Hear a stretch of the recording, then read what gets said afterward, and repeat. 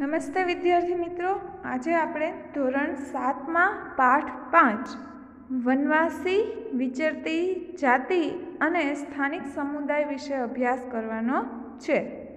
બરાબર? તો આપણે જેમ આગળ છે એ આપણા ઇતિહાસને જાણ્યો, સમજ્યો, તેવી જ રીતના અહીંયા આપણે શું છે? તો કે આપણા દેશમાં જોવા મળતી જુદી જુદી જે વનવાસી જાતિઓ છે, વિચરતી એટલે શું? તો કે એક જગ્યાએથી બીજી જગ્યાએ ભટકતી, હંમેશા ફરતી રહેતી એવી જાતિઓ છે. અને જે તે સ્થળે વસવાટ કરતા જે સ્થાનિક સમુદાયો છે, તેના વિશે અભ્યાસ છે એ આપણે આ લેસન અંતર્ગત કરવાનો છે. બરાબર? તો આપણે આ લેસનની શરૂઆત છે એ કરીએ. તો આપણે આગળ જોયું, બરાબર? તમે આગળ જોઈ જ ગયા છો તે મુજબ.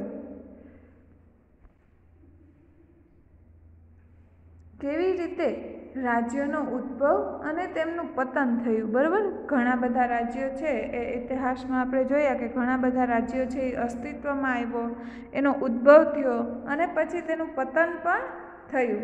આમ છતાંય નગરો અને ગામોમાં નવી કળાઓ, હસ્તકળાઓ, ઉત્પાદક પ્રવૃત્તિઓનો વિકાસ થયો. બરાબર? આ નગરો વસ્યા પછી પતન થયા, નવા રાજાઓ આવ્યા, રાજ્યો વસ્યા અને પતન થયા. તેમ છતાં પણ શું જોવા મળ્યું?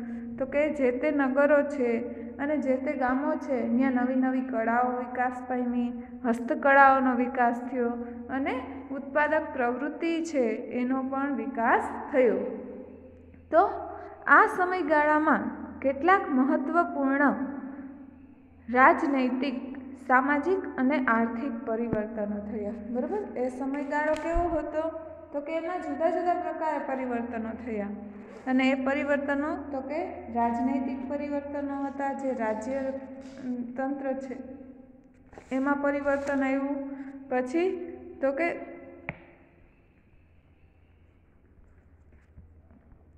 સામાજિક પરિવર્તન આવ્યું કે જે સમાજ જીવન છે, એમાં જુદી જુદી રીતે થોડે ઘણે અંશે પરિવર્તનો આવ્યા અને આર્થિક પરિવર્તનો પણ આવ્યા. પરંતુ સામાજિક પરિવર્તન બધી જગ્યાએ એક સરખું હતું નહીં. દરેક સ્થળે આપણે જોઈએ તો આ સમાજમાં જે પરિવર્તન જોવા મળતું હતું એ એક સમાન હતું નહીં. જુદું જુદું પરિવર્તન છે એ જોવા મળતું હતું. વિવિધ સમાજ અલગ અલગ રીતે વિકસિત થયા. આવું શા માટે થયું તે સમજવું જોઈએ. બરાબર? દરેક સમાજ છે એ એક સમાન વિકસિત નથી થયો. ને અત્યારે પણ હાલ પણ આપણે વિકસિત સમાજોને જોઈએ તો પણ એના વિકસિત થવાની જે સ્થિતિ છે એમાં જુદારો જોવા મળે છે. દરેક સમાજ છે એ એક સરખી રીતે વિકાસ પામ્યો નથી. તો હવે આપણે આગળ જોવાનું છે જનજાતિઓ અને વિચરતી જાતિઓ. જે જુદી જુદી જનજાતિઓ કઈ કઈ છે અને વિચરતી જાતિઓ કઈ કઈ છે, એના વિશે આપણને અહીંયા બેઝિક નોલેજ છે એ આપવામાં આવ્યું છે. તો હવે જનજાતિઓ અને વિચરતી જાતિઓ વિશે આપણે જોઈએ. મોટા શહેરો અને રાજ્ય વિસ્તારોથી દૂર સદીઓથી પોતાની સંસ્કૃતિ અને ઓળખને સ્થાપિત કરતો એક વિશિષ્ટ સમાજ પણ ભારતમાં વસતો હતો. બરાબર? ભારતની, ભારત એક તો ગામડાઓનો બનેલો દેશ હતો. બીજું તો કે ગામડાઓ ઉપરાંત પણ ઘણી જાતિ, ઘણી પ્રજાતિઓ એવી હતી કે જે મોટા શહેરોમાં નહીં અને જે આપણા રાજ્ય વિસ્તારો છે, જે રાજાશાહીને આવરી લેતા એવા રાજાશાહીના વિસ્તારો હતા, એના કરતાં પણ દૂર રહી અને સદીઓથી પોતાની જે સંસ્કૃતિ છે અને પોતાની જે ઓળખ છે એને સ્થાપિત કરતો એક વિશિષ્ટ સમાજ છે એ પણ ભારતમાં વસતો હતો. બરાબર? એનું એક એકમ જ આખું અલગ હતું. જેને આપણે જનજાતીય સમુદાયો કે વનવાસી સમુદાયથી ઓળખીએ છીએ. બરાબર? આ લોકો કેના નામથી ઓળખાય છે? તો કે જનજાતીય સમુદાય અને વનવાસી સમુદાયના નામથી આપણે એને ઓળખીએ છીએ. તો આ સમાજ એ સમયની સમાજ વ્યવસ્થાથી દૂર હતો. જે તે સમયની સમાજ વ્યવસ્થા હતી, બરાબર? એ સમાજ વ્યવસ્થામાં એ માનતો નહોતો. એણે પોતાની જ એક અલગ સંસ્કૃતિ છે. એક અલગ રીત રિવાજો માન્યતાઓ છે, એને વિકસાવેલી હતી. અને તે રીત રિવાજ માન્યતાઓ અને સંસ્કૃતિ મુજબ છે. આ સમુદાય છે એ પોતાનું જીવન જીવતો હતો. એ રાજાશાહી હતી કે અમલદારશાહી હતી? આ કોઈ પણ રાજ્ય વ્યવસ્થાનો ભાગ હતો નહીં. તેણે પોતાની રાજ્ય વ્યવસ્થા છે અલગ બનાવેલી હતી. પ્રત્યેક જનજાતિના સભ્યો કબીલાઈ પ્રથાથી એકબીજા સાથે જોડાયેલા હતા. વિદ્યાર્થી મિત્રો, આપણે ધોરણ છમાં કબીલાઈ પ્રથા વિશે જોયું હતું કે એક નાનકડું ગામડા જેવું જ એકમ હોય, બરાબર? એને પોતાના રીત રિવાજો, માન્યતાઓ હોય, એનો એક વડો હોય, બરાબર? આ બધું આપણે જોયું હતું. તો આવી જ એક પ્રત્યેક જનજાતિના સભ્યો છે, એ પોતે એક અલગ કબીલાઈ વ્યવસ્થાથી શું છે? તો કે એકબીજા સાથે જોડાયેલા હતા. તેઓ શિકારી સંગ્રાખોરી અને પશુપાલક તરીકે તો થોડે ઘણે અંશે ખેતી દ્વારા પોતાનું જીવન જીવતા હતા. બરાબર? એ પોતાનું જીવન છે એ કઈ રીતે જીવતા હતા? તો કે પ્રત્યેક જાતિના સભ્યો છે, એ કબીલાઈ વ્યવસ્થાથી જોડાયેલા હતા. આથી તેઓ રાજ્યથી દૂર રહેતા હતા અને વધુ પડતી આ જાતિઓ છે એ જંગલી વિસ્તારમાં રહેતી હતી. એટલે શિકાર કરવો, અનાજનો સંગ્રહ કરવો અને પશુઓ પાળી પાળી પોષી અને પોતાનું જીવન ધોરણ છે એ ચલાવવું. એ બાબતોથી એ થોડે ઘણે અંશે જોડાયેલા હતા અને થોડા ઘણા અંશે છે લોકો ખેતી દ્વારા પણ પોતાનું જીવન જીવતા હતા. આ લોકો છે એ સ્વાયત્ત લોકો હતા કે જે પોતાનું જીવન ધોરણ છે એ પોતાની રીતે જીવતા હતા અને પોતાની જરૂરિયાતની દરેક વસ્તુનું નિર્માણ છે એ પોતે જાતે જ કરતા હતા. બરાબર? એટલે સ્વાયત્ત જીવન છે એ જીવતા હતા. જંગલ અને પ્રકૃતિ તેમના જીવન પર સૌથી વધુ અસર કરતા પરિબળો હતા. એ કારણ કે એને મોટાભાગના લોકોએ જંગલ વિસ્તારથી નજીક અથવા તો જંગલને જ પોતાના રહેણાંકના સ્થળો બનાવ્યા હતા. એટલે જંગલ અને પ્રકૃતિ, પ્રકૃતિમાંથી જે કંઈ પણ વસ્તુ મળે તેનાથી તે પોતાની જીવન જરૂરિયાતની દરેક વસ્તુનું નિર્માણ કરતો હતો. મકાનથી માંડી, પોશાકથી માંડી અને દરેક વસ્તુનું નિર્માણ છે. એ આ લોકો છે એ પોતાની રીતે કરતા હતા. આથી આપણે કહી શકીએ કે તે લોકો જંગલ અને પ્રકૃતિ, આ બે વસ્તુ છે, એની એના ઉપર સૌથી વધુ અસર હતી. આ બે વસ્તુ છે એ સૌથી વધુ અસર કરતા પરિબળો છે એ હતા. તેમના ઘરો છે એ પ્રાકૃતિક સંસાધનોથી જ બનેલા હતા. બરાબર? કુદરતી. જે વાંસ છે, પછી ઘાસ છે. બરાબર? આ બધી વસ્તુઓનો ઉપયોગ કરી અને પોતે પોતાના ઘરો છે એ બનાવતા હતા. એટલે પ્રાકૃતિક સંસાધનોથી જ તેમના ઘરો બનેલા હતા. આમાંની કેટલીક જાતિઓ એક જગ્યાએથી બીજી જગ્યાએ ભટકતી રહેતી હતી. બરાબર? અહીંથી ત્યાં ત્યાંથી અહીંયા.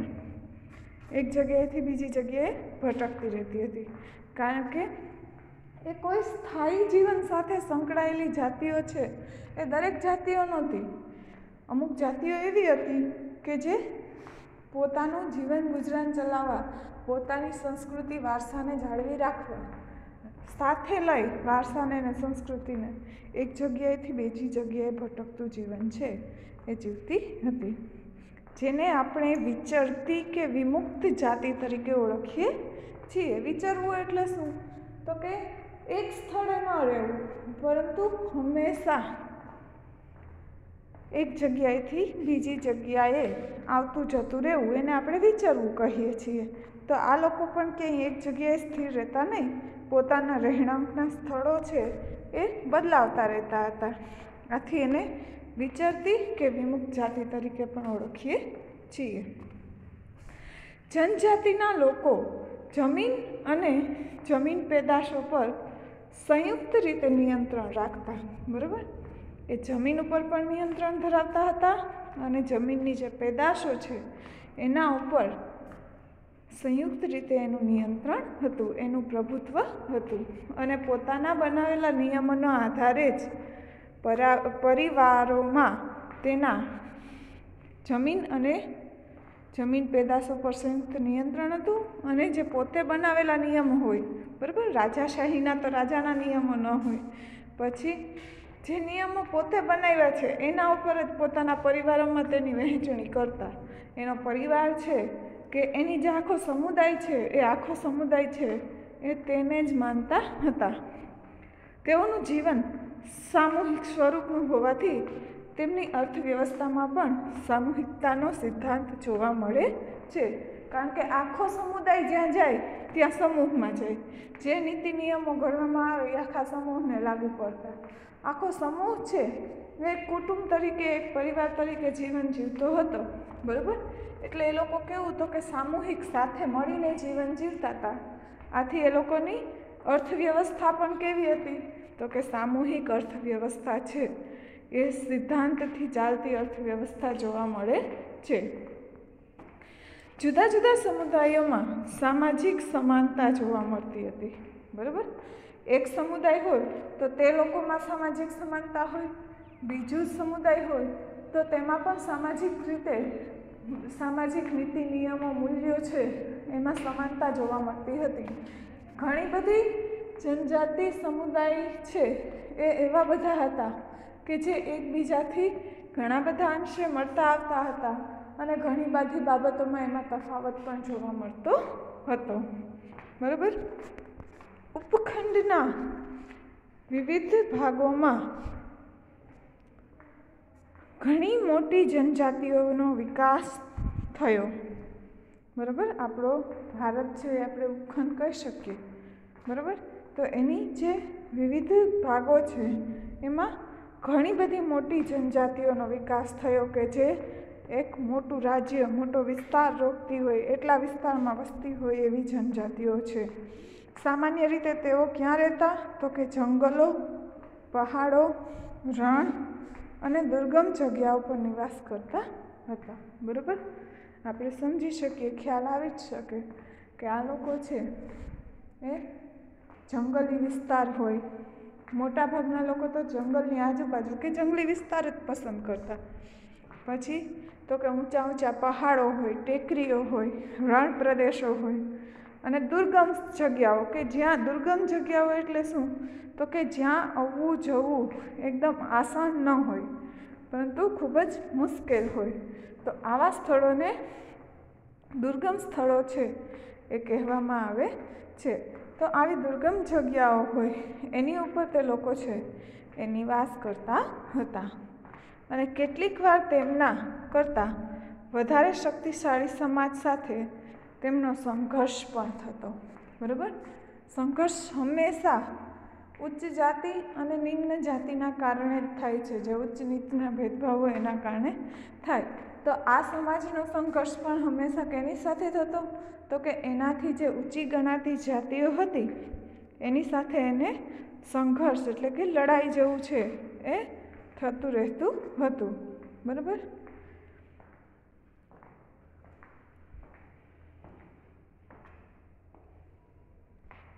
એટલે સંઘર્ષ છે એ પણ આ જાતિના લોકોના જીવનનું એક મહત્ત્વનો ભાગ છે, એમ આપણે કહી શકીએ. આમ છતાં જનજાતિઓને પોતાની સ્વતંત્રતા ટકાવી અને સંસ્કૃતિને બચાવી રાખી છે. બરાબર? આ લોકોને આપણે જોઈએ તો એણે પોતાની સ્વતંત્રતાને ટકાવી રાખી. ન રાજાશાહી કે ન હાલની આપણી અર્થવ્યવસ્થા છે. તો એની પણ હજી ઘણી બધી જનજાતિ સમૂહો છે. એની ઉપર આ અર્થવ્યવસ્થાની પણ અસર આપણે જોવા મળતી નથી. એ પોતાના નીતિ, નિયમો, ધારા, ધોરણો અને સંસ્કૃતિને જાળવીને બેઠા છે. હજી પણ પોતાની સંસ્કૃતિ મુજબ પોતાનું જીવન છે, એ જીવે છે. એટલે આ લોકોએ પોતાની સ્વતંત્રતા છે, એને પોતાની સંસ્કૃતિ છે, એને બચાવી અને ટકાવી રાખી છે.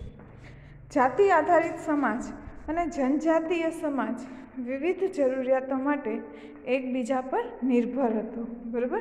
જાતિ આધારિત સમાજ એટલે જે જુદી જુદી જાતિઓનું વર્ણન જેમાં કરવામાં આવ્યું છે એ. અને જનજાતિ એટલે કે જે આ વિચરતી જાતિઓ છે. બરાબર? એ જાતિઓ, એ સમાજ છે. એ વિવિધ જરૂરિયાતો માટે શું છે? તો કે બંને એકબીજા ઉપર ડિપેન્ડેડ રહેતા હતા. એકબીજા ઉપર આધારિત છે, એ રહેતા હતા.